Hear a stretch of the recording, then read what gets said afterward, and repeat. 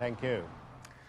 Now it's time for Look East Unplanned. All this week, Mike Liggins is starting his day at one of our local radio stations and getting the listeners to suggest where he should go.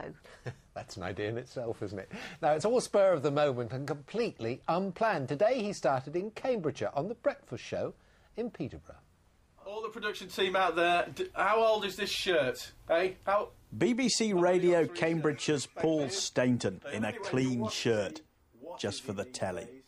But anyway, you washed it and you're right, you earned it clearly. But so thank you. You know, I'm on from behalf Yorkshire. of. I'm from Yorkshire, mate. My wife did that. Not politically correct, but very funny. You can, thank you. Mark calls from Chatteris, mentioning the boxing legend Dave Boy Green.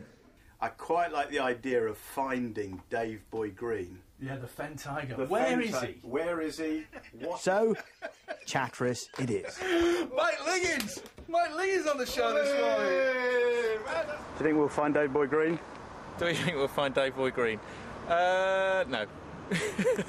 Boxer Dave Boy Green had two world title fights and became a legend in the Fens. But where is he now? We set off to find him.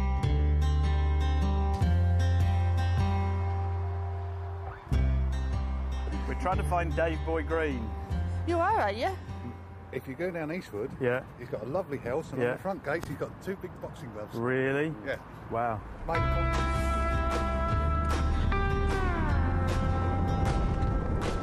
Everyone in Chatteris knows Dave Boy Green, and most seem to know where he lives.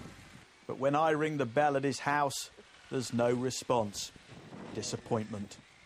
His next door we're trying to neighbour points Boy us in the direction of his work, though, and happily, we find his car, his number plate, and the man himself. Mike Liggins from the BBC. Yeah, how you doing, all right? I'm all right. You're Dave Boy Green. That's correct, yeah. Dave is now 56. He's a successful businessman and loves to reminisce about the old days when he fought Carlos Palomino and the great Sugar Ray Leonard for the world title.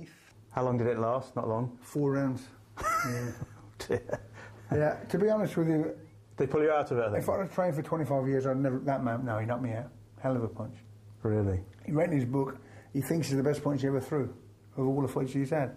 Did you see it coming? Oh, no. I couldn't resist a little shadow boxing with the old Fen Tiger. Frankly, I could have given him a good hiding, but what a nice man. Thanks to our unplanned adventure, we now know Dave Boy Green is alive and well and living in Chatteris. Well, I certainly think Mike, friend. Mike enjoyed Mike himself, enjoyed it, didn't he? yes, Yes. And Mike will be in Essex tomorrow for Look East Unplanned. He'll be on BBC Essex's breakfast show at 8 o'clock. You can also follow him on Twitter and suggest stories that way by typing his name in the search box. He's not a bad boxer by the look of it, either, is he? I mean, Dave Boy Green. Sorry, I was talking about Mike. yeah, that's right. Well, you can see from the satellite sequence why some of us have enjoyed more sunshine than others. This area of cloud has been pretty slow to clear the east and southeast, and it did produce an odd spot or two of drizzle. But for most of us, even if you haven't seen much in the way of sunshine this afternoon, well, you've probably enjoyed a dry day. And uh, as I speak, that cloud is still tending to pull away to the southeast, and once it's gone, we're in for a dry start to the evening and largely clear, and that uh, continues right the way through the night. We may just get a little bit of patchy mist in the extreme west, but for most of us, a pretty clear and pretty quiet night, and a pretty cool one too. Temperatures perhaps as low as 8 degrees Celsius in many spots. In fact, I wouldn't be surprised if we didn't see an odd 7 in the extreme west of the region. And the winds, well, are, mainly light north to northeasterly.